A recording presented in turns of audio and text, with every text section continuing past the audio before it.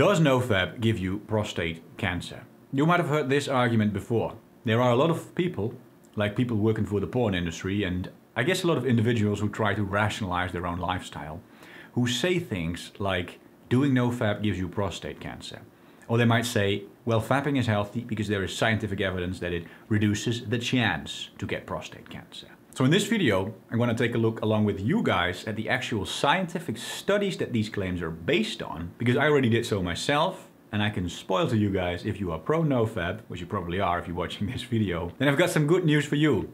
Because there really isn't a lot of science at all that, that really links fapping to prostate cancer. I think that these are either just very biased opinions or maybe just very bad misinterpretations of the scientific literature. And here is why. And so to start off, this idea that fapping is linked to prostate cancer comes from a couple of scientific studies that try to find a link between how often men ejaculated throughout their life and whether or not these men got prostate cancer. And some of these studies did indeed find that there was a pattern where men who ejaculated more often had a lower chance to get prostate cancer. And so this then led to a lot of people to jump to the conclusion that this is proof that fapping is healthy because fapping would reduce the chance to get prostate cancer and doing no fap would be the opposite and that would then increase the chance to get prostate cancer which would obviously be terribly stupid. But there are a couple of things that you need to know about these studies that will make all the difference. The first one is very simple.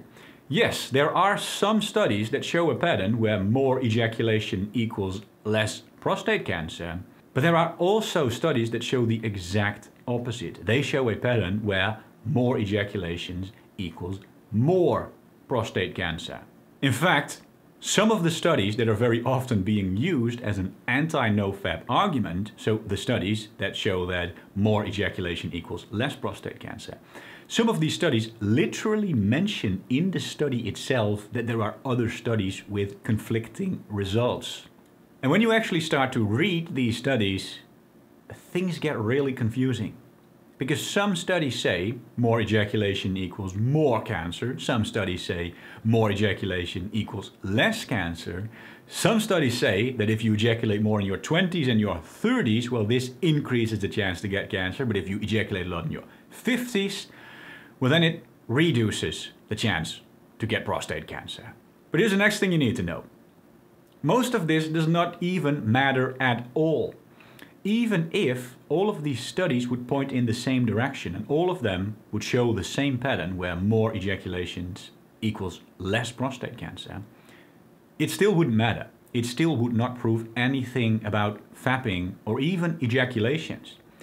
Because in science, there is a huge difference between a so-called correlation and a causation. A correlation means that it's just like a pattern and a causation means that there is an actual causal effect where one thing causes the other thing. And in this case, there is no causation at all. Because all that these studies really do is that they give men like a questionnaire where they ask them, hey, how often did you ejaculate during your lifetime?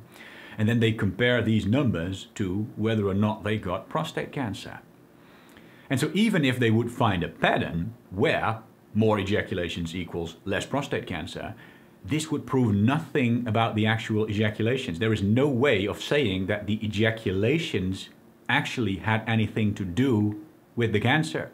Because it could very well be that some people are just healthier than other people. And if you are healthier, well, you are less likely to get cancer and you are more likely to have a higher sex drive and thus a higher amount of ejaculations. Like saying that fapping or ejaculations are linked to prostate cancer based on this evidence is like the same thing as saying that buying a Ferrari makes you rich. Because we know statistically that people who buy Ferraris are richer than average, right? But is it the act of buying the Ferrari that makes you rich, or is it the fact that rich people are more likely to buy Ferraris because they are rich? And we can say the same thing about ejaculations and prostate cancer. Is it really ejaculating more often that reduces the chance to get prostate cancer? Or could it just be that some people are healthier than other people and that if you are healthier, you are more likely to have a higher sex drive and thus more ejaculations.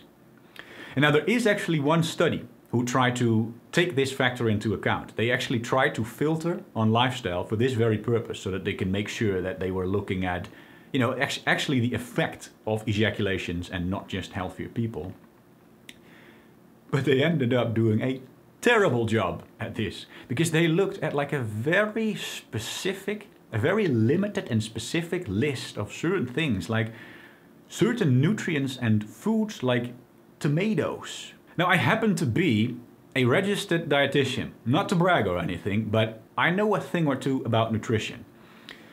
And I can tell you that if you look at a list as limited as this, well, you are not doing a particularly good job at looking at healthy lifestyle in general. I can safely guarantee you that there are a lot of people who don't eat a lot of tomatoes, who are a lot healthier, who live like a, a much healthier lifestyle than other people who do eat a lot of tomatoes. This study did such a bad job at like filtering out the lifestyle in general factor. I guess it makes sense why they looked at these individual factors because these are the factors that are known in the scientific literature to have a correlation to prostate cancer. So I guess it kind of made sense that they picked these things. But to think that these limited factors like filter for lifestyle in general, that's just ridiculous. And that's not just my opinion. But overall, like the, the consensus in the scientific community seems to be that studies like these provide no real evidence that there is a causal link between ejaculation and prostate cancer. What we know so far, it is nothing more than a correlation. And for all we know, it probably has to do with the fact that some people are just healthier than other people. And again, if you are healthier, well, you probably get a little bit less cancer and you probably have a higher sex drive. And that pretty much sums up this entire video. Now, while I was doing research for this video, I actually found out that this website, yourbrainonporn.com, which you might be familiar with already, did a very good job at the research of prostate cancer and, and ejaculation as well. And they actually made a really nice summary of it. And I originally intended to link a bunch of sources in the description of this video that I uh, talked about in this video and that I read before I made this video. But I figured it might be a better idea for you to just go to yourbrainonporn.com because they actually made a very nice summary with like descriptions of what study says what. And I think that for someone who is interested in actually digging into uh, more of the scientific literature, it makes more sense to go there and, and use that as like a navigation tool than if I would just link like 20 random studies below and you would have to figure everything out for yourself.